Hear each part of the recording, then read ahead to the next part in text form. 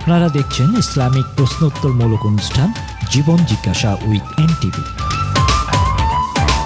সৌজন্যে UK immigration consultants M Q Hasan solicitors Mahbub and co accountants আসমান সুন্দর, জমিন সুন্দর, সুন্দরী সুন্দরী পাল্লা।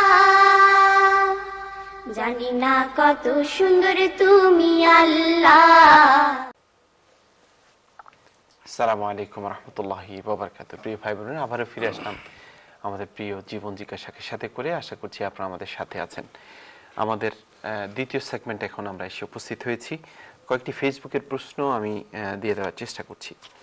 এক ভাই ফ্রান্স থেকে প্রশ্ন করেছেন, ফজরের প্রায় এক দেড় ঘণ্টা আগে। এরকম প্রশ্ন আগেও আমাদের হাতে এসছে, তারপরও উনি খুব পেরেশান, যার কারণে আবারও পেশ করছি যে এক দেড় ঘণ্টা আগে রওনা দেয় কাজের জন্য। এখন ফজরের নামাজ পড়া ওখানে গিয়ে টাফ এখন উনি এক দেড় ঘণ্টা আগে নামাজ পড়তে পারবেন কিনা, অথবা নিয়মটা কি? উত্তর হলো যে ফজরের নামাজ ওয়াক্ত শুরু হওয়ার আগে নামাজ পড়ার কোনো সুযোগ নেই। কিছু নামাজ আছে যেগুলো হয়তো কম্বাইন করার সুযোগ থাকতে পারে কোনো কোনো মাঝহাব অনুযায়ী।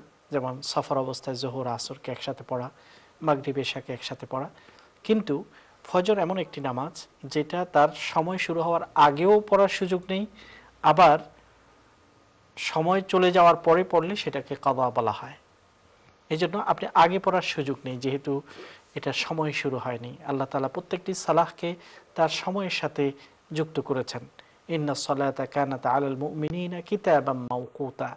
আল্লাহ তালা স্পষ্ট ঘোষণা, প্রতিটি সালা তার সময়ের সাথে সেটাকে যুক্ত করা হয়েছে। নির্ধারিত সময়ে সেই নামাজটি আদায় করতে হবে। এই জন্য স- সালাহ আদায়ের যেসব পূর্ব শর্ত, সেগুলোর মধ্যে গুরুত্বপূর্ণ একটি শর্ত হলো ওয়াক্ত, সময় হওয়া এবং সময়কে জানা।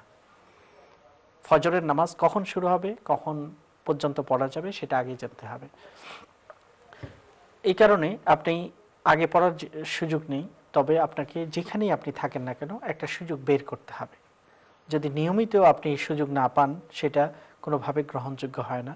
একটা পথ আপনাকে বের করতে হবে এবং যখন বান্দা চেষ্টা করে, আল্লাহ তালা এটা ওয়াদা করেছেন, তার জন্য পথ খুলবেন।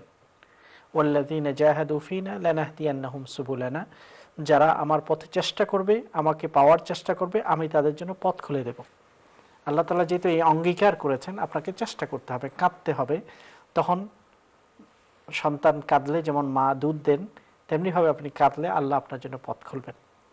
আর ইউরোপীয় দেশগুলোতে যেহেতু রিলিজিয়াস রাইটসকে গুরুত্ব দেওয়া হয়, আপনি যদি যে কোম্পানিতে বা যেই জায়গায় চা- কাজ করেন, সেখানে যদি চান, তাহলে যে কোনো একটা স্পেস আপনি বের করে নিতে পারেন এবং আল্লাহ আপনার জন্য সহযোগিতা করবে। হতে পারে আপনার কারণে পরবর্তী অন্যান্য মুসলমানদের জন্য পথ খুলে যাবে।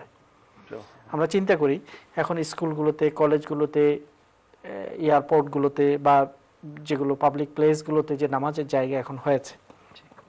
সেটা মাল্টি ফেইথের নামে হোক বা সেটা হচ্ছে প্রেয়ার রুম নামে হোক, যেই নামেই হোক, বিভিন্ন জায়গায় আছে। কিন্তু প্রথম যারা এসেছেন, তারা যদি চেষ্টা না করতেন, তাহলে এই পদগুলো খুলতো না। এই পদগুলো খুলেছে আমাদের চেষ্টা এবং আমাদের পূর্ববর্তীদের চেষ্টার কারণে। এই জন্য ইউনিভার্সিটিগুলোতে গেলেই অনেক সময় এইসব নামাজের ফ্যাসিলিটি অজু করার ফ্যাসিলিটিতে দেখলে মনটা জুড়ে যায়। আর এই কারণেই যে আগের লোকেরা সেটার জন্য কেঁদেছেন, চেষ্টা করেছেন। এমনকি আমাদের অনেক তরুণ বাচ্চারা যারা সেকেন্ডারি লেভেলে তারাও অনেক স্কুলগুলোতে আমার জানা মতো, তাদের চেষ্টার ফসল হিসেবে এখন তাদের জন্য নামাজের ব্যবস্থা হচ্ছে। তাহলে এই চেষ্টাটা আমাদেরকে করতে হবে। আমরা সাইনেস নিয়ে যদি বসে থাকি যে, লজ্জা লাগে, কি বলব, কি বলবে, কি উত্তর দেবে? এত হেসিটেশন নিয়ে আমাদেরকে হবে না। দিনের পথে তো আমরা আর তরবারি নিয়ে যুদ্ধ করতে যাচ্ছি না। শান্তিপূর্ণ আমার অধিকারকে পাওয়ার জন্য একটু চেষ্টা, মুখ খোলা। সেই সাহসটুকুও যদি আমাদের না থাকে, তাহলে আমরা কীভাবে দিনকে এই সমাজে প্রচার করব কিংবা আল্লাহর কাছে কীভাবে জবাব দেব? এই জন্য আপনার এই প্রশ্নের প্রেক্ষাপটে আমি বলতে চাই, যারা লজ্জার কারণে নিজে মুসলমান এই পরিচয়টা দিতে চান না, অথবা নিজের ইবাদতগুলোকে গোপন করেন, তাদের জন্য উচিত যে না, আরেকটু ওপেন হতে হবে, আরেকটু সাহসী হতে হবে। সম্মান অপমান রিস্ক এবং খাবার সব আল্লাহর হাতে আল্লাহই ব্যবস্থা করেন। এই জন্য আপনি আল্লাহর পথে চেষ্টা করলে আল্লাহ আপনার জন্য পথ খুলবেন। এমন কি মনে রাখবেন যে আমার নামাজ দেখে অনেক নন মুসলিমের মনের মধ্যে প্রশ্ন জাগতে পারে কি এই কি করছে লোকটি? কেন করছে? হতে পারে এই প্রশ্ন তাকে ইমানের পথে নিয়ে যেতে পারে। আল্লাহ একবার ফ্রান্সের একজন আপনি ফ্রান্স থেকে যেহেতু প্রশ্নটি করেছেন আমরা উত্তর ও ফ্রান্সের একজন অভিনেত্রীর তথ্য আছে যেটা ওয়েবসাইটে গেলে পাবেন। তো তিনি অনেক মঞ্চ, স্টেজে গান টান করতেন বা অনেক পারফরমেন্স করতেন। কিছুদিন ধরে তাকে দেখা যাচ্ছে না। তিন বছর ধরে তিনি মঞ্চে গান ইত্যাদি বন্ধ পাওয়া যাচ্ছে না। হঠাৎ সাংবাদিকদের চোখে পড়ল তিনি কোনো একটা মসজিদ থেকে বের হচ্ছেন, হিজাব পরা অবস্থায়। এরপর থেকে একটা টিভি তার পিছনে লাগছে ইন্টারভিউ নেওয়ার জন্য। কি ব্যাপার? তার জীবনে এরকম ট্রান্সফরমেশন কেন? তার ভক্তরা তাকে খুঁজছে পাচ্ছে না। তখন তিনি জানালেন, কীভাবে তার জীবনের পরিবর্তনটা হয়, কীভাবে তিনি মুসলমান হয়? তার উত্তরে তিনি যেটা বলছেন বা যে ঘটনাটা আমি পড়ে দেখেছি কয়েক বছর আগের কথা, তার একজন মুসলমান মহিলা তাকে বলেছেন যে, আমি পাঁচ মিনিট আমার সময় দরকার। তো জিজ্ঞেস করল, কি করবে? বললেন, আমি একটু প্রেয়ার করব। তার মনের মধ্যে হলো যে আমরা লাঞ্চের জন্য ছুটি নিই অথবা টয়লেটে যাই কাজের ফাঁকে, কিন্তু প্রেয়ারের জন্য তো আমরা যাই না। এ কি প্রেয়ার করবে? তখন সে জিজ্ঞেস করল, আমি আমি তোমার সাথে যাব, যেতে পারি? সে বলল, চলো। তো তিনি গেলেন এবং দেখলেন যে মহিলাটা কীভাবে নামাজ পড়ছে, একবার মাথাকে নুয়াচ্ছে, কপাল লাগাচ্ছে, মাটিতে আবার উঠছে ইত্যাদি ইত্যাদি। তখন তিনি বলল, আমি কি করতে পারি এরকম? তো তিনি করলেন এবং সেজদা দিলেন। যারা অভিনেত্রী অথবা গায়িকা বা যারা পারফর্মার তাদের ভক্ত হাজার হাজার কিন্তু তারা খুব একাকী মানুষ হয়। হাজার মানুষ তাদের ভক্ত কিন্তু মানুষ সাথে তাদের অন্তরঙ্গ মানুষ থাকে না তাদের। তারা হাজারের ভিতরে থেকেও নীরব এবং একাকী। জনতার ভিতরেও থেকে আমি একা একই কবিতার কোনো ছন্দ থাকতে পারে। তো সেরকমই তাদের তাদের মনের খাকা একটা হাহাকার থাকে। তখন এই মহিলা সেজদা দেওয়ার পরে সে বলল যে জীবনে আমি এত শান্তি, অথচ মুসলমান হয় নাই, অজুও করে নাই, কিন্তু তার রবের কাছে তার কপাল লাগানোতে তার যে মনের পরিস্থিতি পরিবর্তন হয়েছে জীবনে এরকম প্রশান্তি আমি কখনো পাইনি। এবং এই একজন মহিলার নামাজ দেখেই কিন্তু এই বড় একজন পারফর্মার তিনি আর্টিস্ট তিনি মুসলমান হয়েছেন, এবং এরপর থেকে তিনি মঞ্চ অভিনয় ইত্যাদি ছেড়ে দিলেন বা গান ছেড়ে দিলেন। এবং তিনি একজন মুসলমানকে বিবাহ করলেন এবং নিয়মিত মসজিদে যাতায়াত করছেন। তো এই জন্য বলছি যে আমরা অনেক সময় আমাদের নামাজকে হাইট করি। কেন হাইট করব? আমি তো অন্যায় করছি না। বরং আমার এই সালাহ অন্যর মনের মধ্যে প্রশ্ন জাগাতে পারে এবং তাদের তারা প্রশ্ন খুঁজতে খুঁজতে হয়তো উত্তরের দিকে চলে যেতে পারে। এই জন্য চেষ্টা করতে হবে আমাদেরকে। নামাজের ওয়াক্ত হওয়ার আগে কোনোভাবেই নামাজ আদায়ের সুযোগ নেই। ধন্যবাদ। জাজাকুমুল্লাহ ভাই আমরা চলে যাচ্ছি কলের কাছে। সালাম আলাইকুম। ওয়ালাইকুম আসসালাম। বোন আপনার প্রশ্ন বলবেন। জি ভাই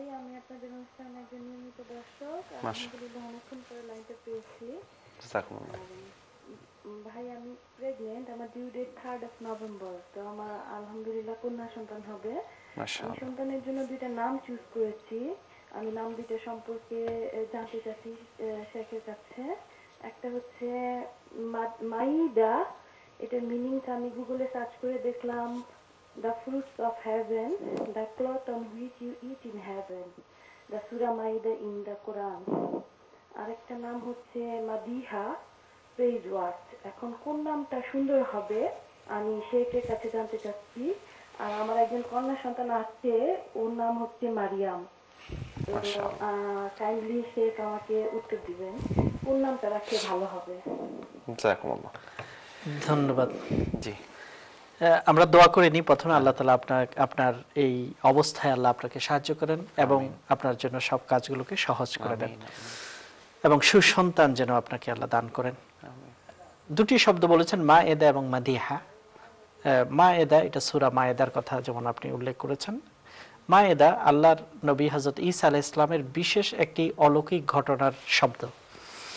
তার জাতি তার কাছে চেয়েছেন যে আপনি বলুন আল্লাহর কাছে, আনজিল আলাইনা মা ইদা তামিনা সামা আমাদের জন্য আল্লাহ যেন খাবারের মায়েদা, আমরা যেটাকে উর্দু বা বাংলায় বলি দস্তরখান, যেটার উপর বিছিয়ে আমরা খাবার রাখি এবং খাই, যে আমাদের জন্য আল্লাহ যেন প্রস্তুতকৃত খাবার পাঠিয়ে দেয়, দস্তরখান পাঠিয়ে দেয়, তারা চেয়েছিল। এবং আল্লাহ নবী হজরত ইসা আলাহ ইসলাম সতর্ক করেছেন, বলেছেন, তোমরা যদি এরকম মৌজাদা চাও, তবে এটার পরিণতি ভয়াবহ। আল্লাহ যদি দেন, তারপরেও যদি তোমরা ইমান না আনো বা ইমানের উপর অটল না থাকো, তখন শাস্তি অবধারিত। আর মৌজাজা যদি এত প্রকাশ্য না হয়, তখন যদি তোমরা না মানো, তাহলে সাথে সাথে শাস্তি আসবে না। এই জন্য বড় মৌজাজার পরিণতি হলো যে, যেটা দেখার পরে যেটা আল্লাহ সাধারণ মানুষের পক্ষে করা সম্ভব নয়, কিন্তু এটা দেখেও যদি কেউ অস্বীকার করে, তখন বড় শাস্তি হবে। তো আনজিল আলাইনা মা ইদাতা মিনাসামা মা এদা বলতে সেটাই বোঝানো হয় যে স্পেশাল খাবার আসমান থেকে মানে ইসরায়েলের জন্য হজরত ইসা আলাহ ইসলামের সময় যেটাকে প্রেরণ করা হয়েছে। মায়েদা শব্দের অর্থ হচ্ছে খাবার দস্তরখান বা যে টেবিল যেখানে রেখে খাবার খাওয়া হয় সেটাকে বলা হয়। আর মাদিহা আপনি যেটা বলেছেন সেটা সব অর্থটি সঠিক বলেছেন, মাদিহা মানে প্রশংসা, প্রশংসিত, যার প্রশংসা করা হয়। এই জন্য আপনি নামগুলো রাখতে পারেন।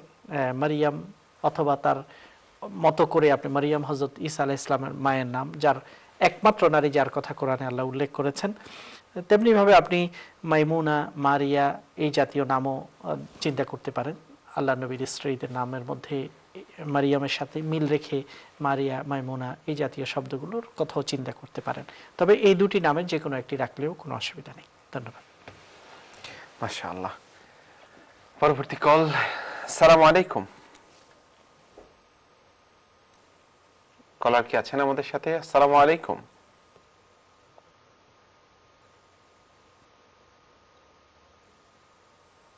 ওকে আমরা একটা ফেসবুকের প্রশ্নে চলে যাচ্ছি। ফেসবুকের প্রশ্নটা দেওয়ার আগে আরেকটা কলার নিতে হচ্ছে। সালাম আলাইকুম।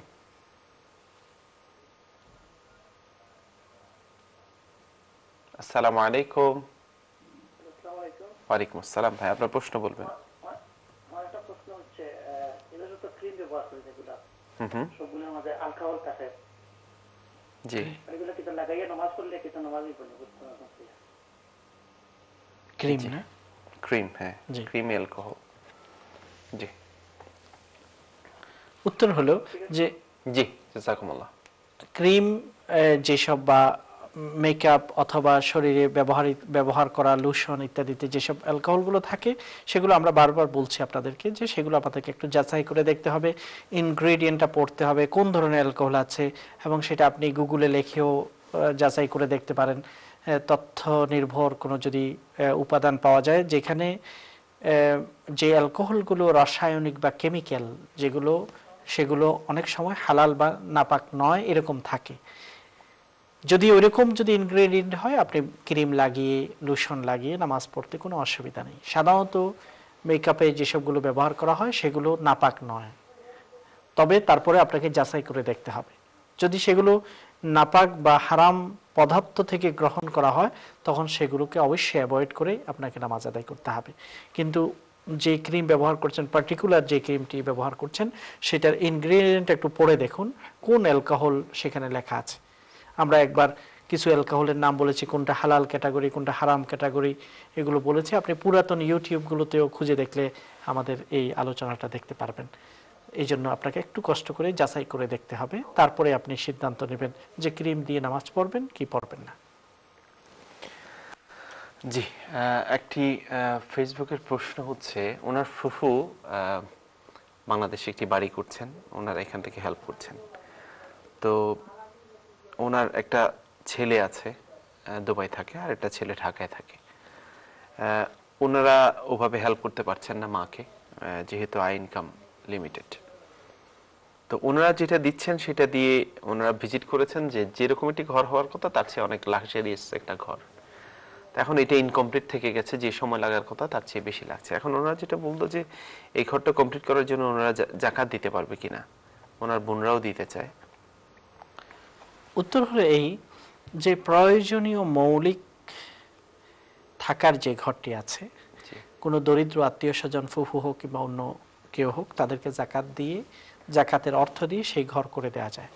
আপনি যেমন বলছেন লাক্সারিয়াস বলতে যদি বোঝা যায় যে অপ্রয়োজনীয় হয় সেখানে জাকাতের অর্থ ব্যবহার করাটা উচিত হবে না। কারণ জাকাত এটা হচ্ছে গরিবের হক। আপনি গরিবের জন্য ওই জায়গায় ব্যবহার করবেন যেটা প্রোডাক্টিভ যেটা তার প্রয়োজনীয় এই কাজেই আপনাকে ব্যবহার করতে হবে। জাকাত এটা হচ্ছে গরিব, দুঃখী মানুষদের সবাই হক আপনার মধ্যে, শুধু ফুফুর জন্য নয়। তবে সেই লাক্সারিয়াস ঘর বানিয়ে দেওয়া, এই পয়সা দিয়ে এটা উচিত হবে না। হ্যাঁ নর্মাল ঘর অথবা পাকা করে দেয়া যেটা অনেক দিন থাকবে, এরকম কাজেও আপনি জাকাতের পয়সা ব্যবহার করতে পারবেন। তবে যেমন যে অতিমাত্রায় দামি টাইলস ব্যবহার করতে হবে অথবা আরও আরও কিছু আছে, যেটার সাথে মৌলিক যে থাকার ঘরের বিষয়টি, সেটা যুক্ত নয়। এইরকম ক্ষেত্রে এই জাকাতের অর্থ ব্যবহার করা যাবে না। অফি আমওয়ালিকুম হকুন লিসাইলি ওয়াল মাহরুম। আল্লাহ বলছেন, তোমাদের সম্পদে গরিব, ভিখারি, দুঃখীদের হক রয়েছে। কাজে এই হকটা আপনি অপ্রয়োজনীয় কাজে ব্যবহার করতে পারবেন না। ধন্যবাদ। জি আমাদের আর এক মিনিট সময় আছে বিরতির জন্য। তো আমরা চলে যাচ্ছি বিরতিতে ইনশাল্লাহ বিরতির থেকে এসে একটি গুরুত্বপূর্ণ প্রশ্ন আমাদের ফেসবুকের মাধ্যমে এসেছে আমরা সেটা ইনশাল্লাহ দেওয়ার চেষ্টা করব। প্রিয় ভাই বোনেরা, আমরা যাচ্ছি আরেকটি ছোট্ট বিজ্ঞাপন বিরতিতে ফিরে আসব ইনশাল্লাহ বিজ্ঞাপন বিরতি শেষ করে তখন আমাদের তৃতীয় সেগমেন্ট থাকবে ইনশাল্লাহ আশা করছি আপনারা সবাই আমাদেরকে সঙ্গ দিবেন। আসসালামু আলাইকুম ওরহমতুল্লাহি ওবরাকাতুহ আসমান সুন্দর জমিন সুন্দর সুন্দরী সুন্দরী। পাল্লা। জানি না কত সুন্দর তুমি আল্লাহ। আপনারা দেখছেন ইসলামিক প্রশ্নোত্তর প্রশ্নোত্তরমূলক অনুষ্ঠান জীবন জিজ্ঞাসা উইথ এনটিভি। সৌজন্যে UK immigration consultants M Q Hasan solicitors Mahbub and co accountants